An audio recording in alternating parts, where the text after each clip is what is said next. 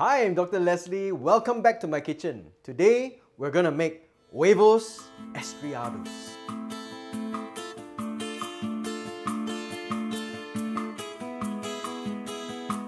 So today we are doing a Spanish dish, which is why I'm speaking Spanish. Uh, this is a very simple dish actually of fried potatoes and fried eggs. I first came across this dish when I was in Madrid with my wife and we heard about this very famous restaurant that all the presidents and all the stars would go to, right?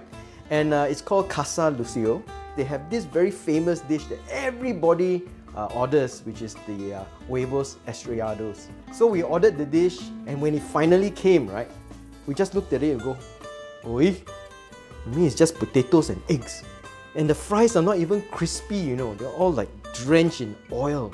It's like soggy fries with eggs. But when we put it into our mouth, we go, wow, something very special. What makes the potatoes so nice? Huh? So uh, I made friends with the chef. So he brought me to the kitchen. Then there was where I saw the secret. The secret is that they actually slow cook the potatoes in olive oil. Not just olive oil, extra virgin olive oil. Now, these are not your typical french fries where you expect it to be crispy, deep fried. These are actually confit potatoes. Now, if you understand this, then you get the dish. I'm using russets today.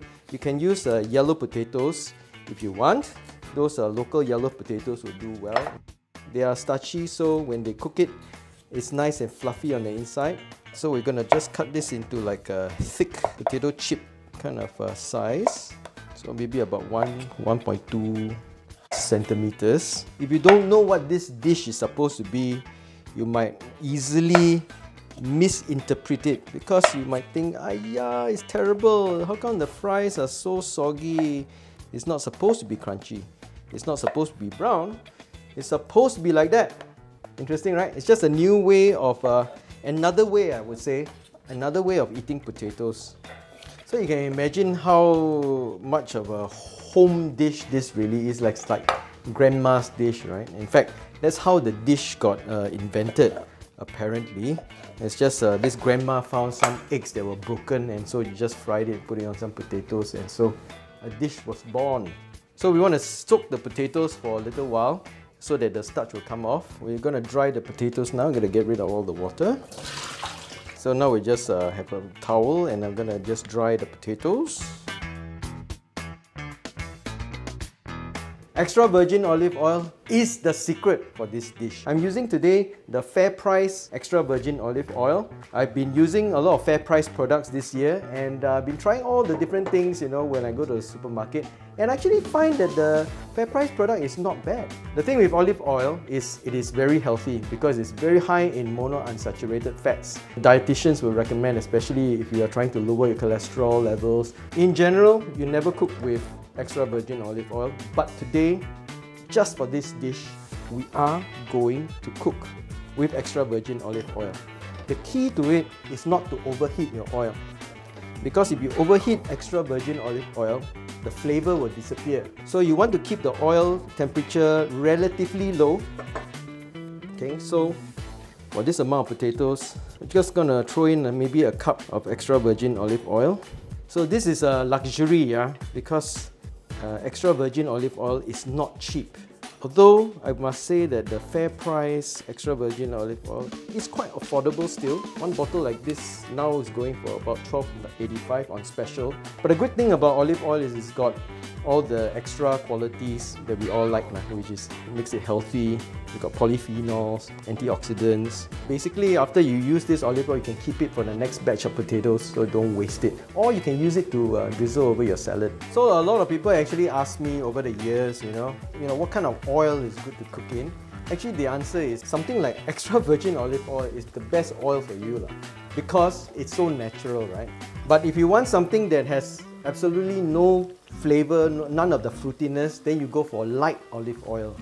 Okay, light olive oil is basically the olive oil that's been refined.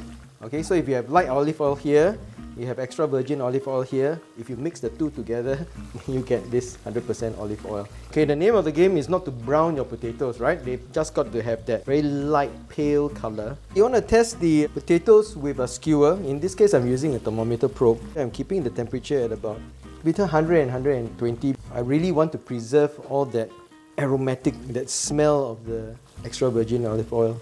Now in case you don't have a thermometer probe like this, uh, you can just look at the bubbles, it should be around like that. Lah. Okay, it shouldn't be like aggressive. So it's 15 minutes, it's ready. See, the potatoes are nice and soft. So now as the potatoes are cooling down, we're just go and do the eggs. Of course you get yourself some of them nice eggs, you know, because eggs are such a such a star of this show. Because we have cooked uh, very low temperature. This uh, oil uh, is not oxidized, it's not spoiled. You can reuse it, you can use it for salad dressing. Don't waste it because it's extra virgin. All you need to do now is to give it a just a bit of sprinkle of salt.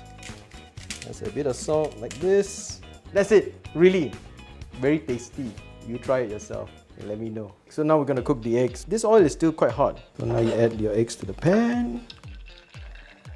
Okay, make sure your heat is quite gentle. I mean, of course, in the restaurant, uh, they do it very fast because they're very experienced. But when you're at home and you're not, maybe not so experienced, maybe you don't want it to be so fast, yeah? You just bathe the, the top of the eggs with the hot oil, like that. Alright, so the eggs are essentially done.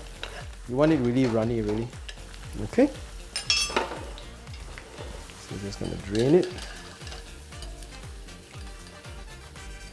Okay, just put your eggs over the potatoes like that. One more step. This is not the dish. The dish is called broken eggs. And so, what they do is the waiter will come to your table and then he will break the eggs in front of you like that. Now, this is now my huevos estrellados. Time to eat! Okay, no, you are thinking, right?